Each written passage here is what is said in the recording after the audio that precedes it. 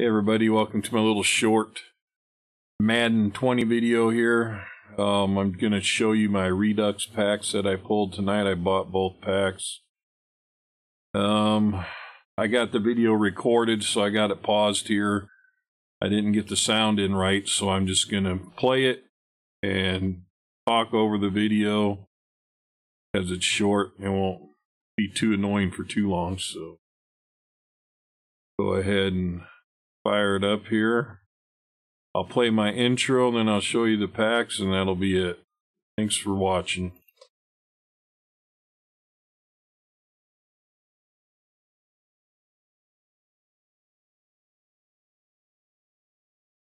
You have to let me know what you think of this intro. I I like it, but I'll probably change it up.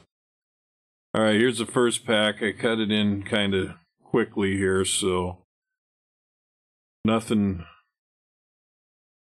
or I guess I opened both packs first and then I actually opened them. So, you know how they have the double pack opening these days, which I'm glad they do because I hate when I open a pack and it goes right to it in case I want to record it or whatever. But here is the uh, first Redux pack.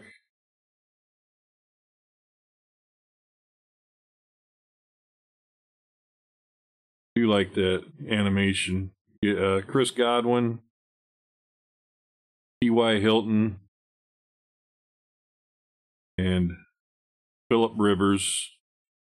And it took me a while to decide between the two wide receivers. They're pretty similar. So I cut it out because I was going back and forth quite a while. So, but uh, I ended up taking Chris Godwin just because he's got better catching traffic. Probably won't keep him anyway, but Here's the second pack. I actually am a New England fan, so I like to keep a New England theme team. Um, get the Telvin Smith, and I did want to get this card, but his stats are just so terrible. The Jamie Collins, so I'd, Eddie Jackson I already have. I needed the Telvin Smith to finish him, so I went ahead and take that.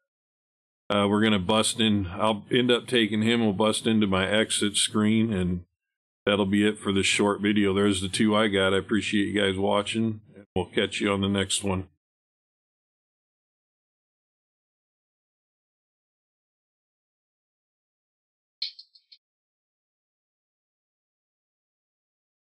That's it. Bye bye.